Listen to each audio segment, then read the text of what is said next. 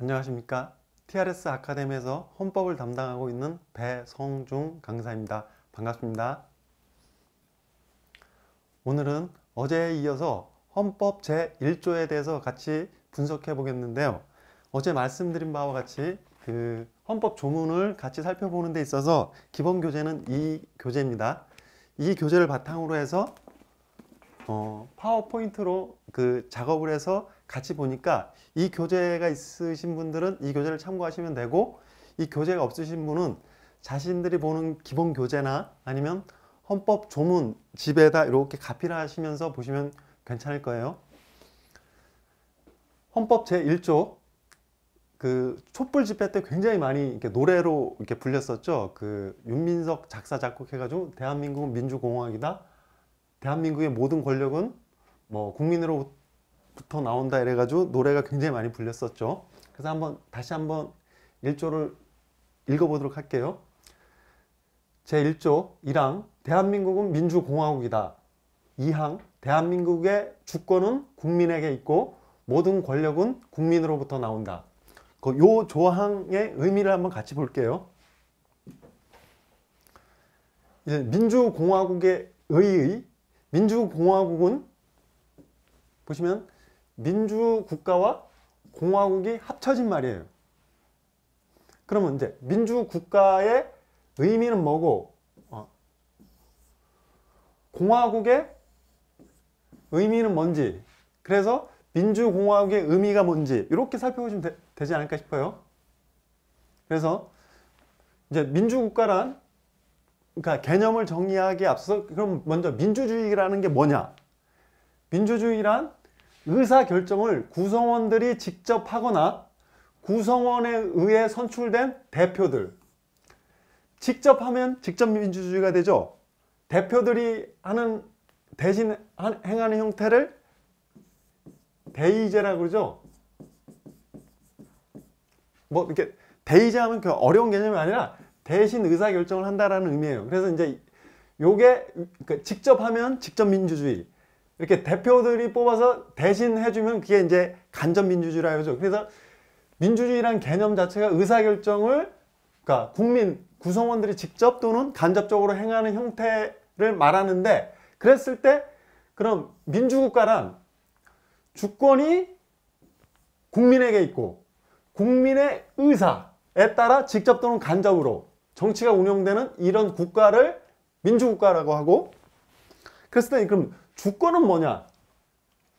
국가 의사를 전반적 최종적으로 결정할 수 있는 최고의 권력을 주권이라고 말을 하죠. 그래서 이렇게 민주국가의 의미를 한번 살펴보고 그러면 그러니까 민주공화국이라 했는데 그럼 공화국의 의미는 뭐냐? 공화국이란 자, 우리가 지금 6공화국이라는 건 아시죠? 어제 이제 학습했죠? 그 헌법 전문하면서 5, 7, 8, 9때 개정이 됐는데 그게 3, 4, 5, 6 공화국이다. 이제 그랬을 때 우리나라에서 이제 공화국의 의미를 그 헌법적인 전면적인 어떤 변혁이 일어났을 때 공화국의 어떤 숫자를 이렇게 바꿔 왔었는데 그 공화국의 의미하고는 그 원래 본래 의미하고 조금 달라요. 그래 본래 공화국의 의미는 요게 이제 저 그 군주국의 반대 개념이었거든요. 그럼 이제 군주국을 먼저 보고 공화국의 의미를 한번 같이 보도록 할게요. 군주국이란 주권이 여기 국가사를 전반적으로 최종으로 결정할 수 있는 최고 권력을 말하는 그 주권이 왕에게 주어진 나라를 군주국이라 그래요. 그랬을 때 보통 전제 군주국, 입헌 군주국 이런 말을 들어보셨을 거예요. 그래서 전 군주국 중에서 전제군주국은 뭐냐 하면은 왕이 전권을 휘두르는 나라를 전제군주국. 그 다음에 왕이 존재하되 헌법에 따라 민주적으로 국정을 운영하는 나라를 입헌군주국. 그러니까 왕이 있긴 하지만 형식적으로 존재하는 거죠. 그걸 입헌군주국이라는 그래서 군주국이란 주권이 왕에게 주어진 나라를 말하는데 요거에 대한 반대가 공화국인 거예요. 그래서 1인에 의한 독재가 아니라 국민들이 그러니까 1인의 군주국이 아니라는 게 공화국의 원래 의미예요. 그래서 1인에 의한 독재가 아니라 이게 원래 의미였는데 그 최근에 더 넓혀진 개념으로 국민들이 추대한 대표들이 공동으로 화합해서 행하는 정치 체계. 1인에 의한 독재가 아니라 공동 그러니까 국민들이 추대한 대표들이 1인에 의한 독재가 아니라 공동으로 화합해서 행하라는 그런 정치 체계를 이제 공화국이라고 하는 거예요. 군주국에 이제 반대돼서 그랬을 때 그러면 민주주의가 민주공화국은 민주국가하고 공화국이 이제 합하면 되는 거예요. 그래서 민주공화국이라 함은 주권이 국민에게 있고 국민이 선출한 국가 원수 및 대통령 보통 그 대통령제 국가에서는 대통령이 되겠죠. 의원에게서는 총리가 되고 국가 원수 및 대표에 의하여 국정이 운영되는 국가. 이게 민주공화국의 의미예요. 대한민국은 민주공화국이다. 그래서 이제 아까 대한민국은 민주공화국이다의 의미를 이제 같이 보신 거예요. 그 다음에 1조 2항. 1조 2항은 다시 대한민국의 주권, 아까 개념 뭐죠? 국가의사를 최종적으로 전면적으로 결정하는 최고 권력을 말했죠. 주권은 국민에게 있고 모든 권력은 국민으로부터 나온다. 이게 이제 국민 주권주의를 말하는 건데 요거의 의미를 또 같이 볼게요. 국민 주권주의. 국민 주권주의 원리는 요게 이제 헌법재판소의 문장이에요. 국민 주권의 원리는 국가 권력의 정당성이 국민에게 있고 모든 통치 권력의 행사를 최후적으로 국민의 의사에 따라 귀착시킬 수 있어야 한다는 국가 권력 내지 통치권을 정당화하는 원리라는 거예요. 그래서 이제 여기 이제 파생되는 이제 개념들 보시면 헌법 그러니까 여기에 어떤 의미가 있냐면 헌법 재정 권력의 주체가 또 국민이라는 것의 헌법적 근거가 되는 거예요. 그왜 왜 그러냐면 허, 보통 헌법 재정 권력 자체가 주권이라고 말하기 때문에 그러는데 그러면 선생님 헌법 재정 권력이란 무엇입니까? 헌법 재정 권력이란 헌법을 창조하는 힘. 그래서 헌법을 만드는 헌법 이전의 권력. 보통 이렇게 말을 하는데 자, 요 개념을 한번 그 요 이제 권, 김학성 교수님 교과서에서 이제 따온 문장인데 요 문장을 한번 음미해 보세요. 헌법 재정 권력의 의미가 이렇게 오는지. 헌법 재정 권력에 의하여 법 질서가 창조되므로 헌법을 만드는 거니까 헌법 재정 권력은 정치가 규범으로 바뀌는 교차점에 위치하는 권력. 그 사실의 영역에서 헌법 재정 권력에 의해서 헌법이란 법 질서가 형성되는 거기 때문에 헌법 재정 권력은 정치가 규범으로 바뀌는 교차점에 위치하는 권력. 김학성 교수님 교과서에 나오는 문장인데 이 헌법 재정 권력, 헌법을 창조하는 힘인데 이 개념을 이렇게 좀 직관적으로 이해하는데 좀 도움이 될까 싶어서 제가 문장을 한번 실어봤어요. 그랬을 때 보통 헌법 재정 권력의 주체가 국민이라는 그 의미가 되고 그 다음에 아까 그러니까 1조 2항 후반부에 보셨던 모든 권력은 국민으로부터 나온다고 할 때 모든 권력이라 함은 통치권을 말하는데 이 권력이라는 개념 권력이라는 개념은 보통 이제 법률 용어는 보통 아니에요.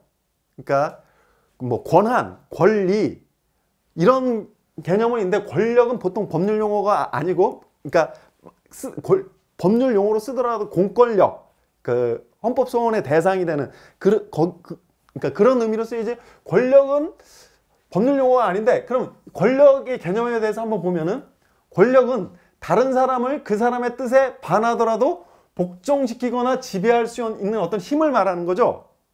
보통 이제 사회학적에서 이렇게 개념을 정의하는데 그랬을 때 권력은 법률 용어가 아니라 의지와 감정이 담긴 대단히 정치적인 말이다. 이처럼 정치적인 단어를 우리나라의 최고 규범인 헌법에서 쓰고 있다는 것은 헌법이 고도로 정치적인 문서임을 뜻한다.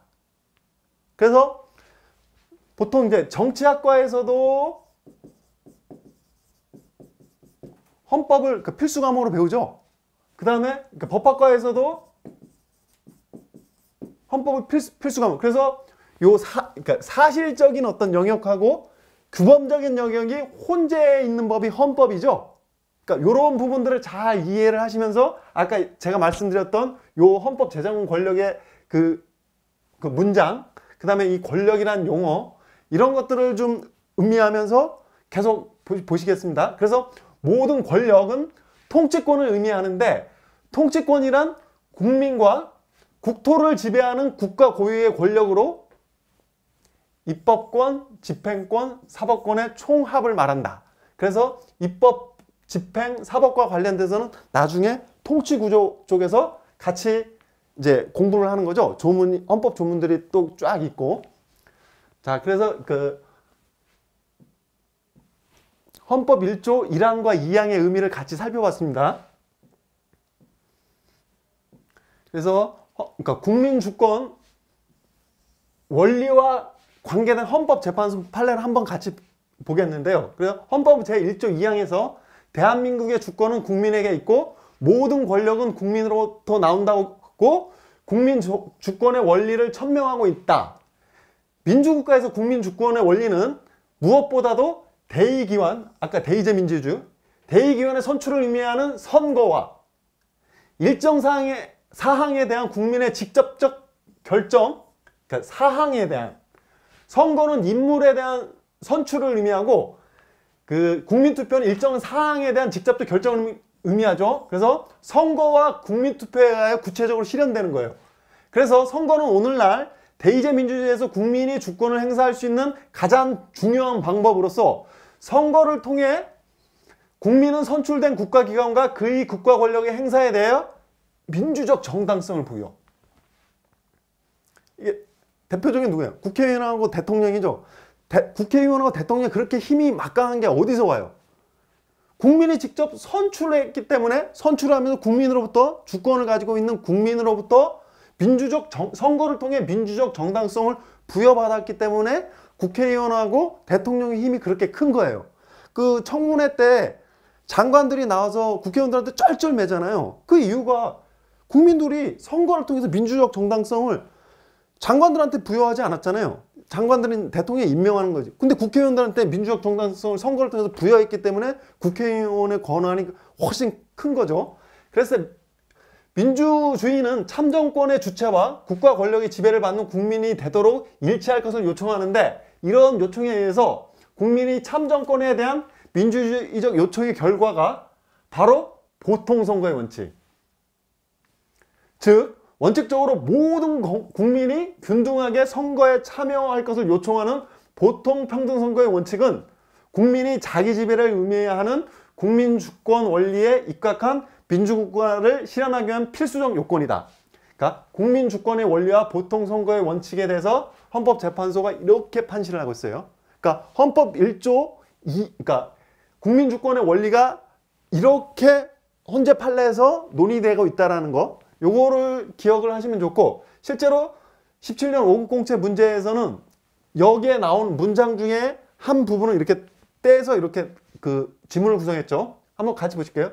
민주국가에서의 국민주권의 원리는 무엇보다도 아까 말씀드렸죠. 대의기관의 선출을 의미하는 선거, 일정한 사항에 대해 국민의 직접적 결단을 의미하는 국민 투표에 의하여 실현된다. 그 맞는 지문.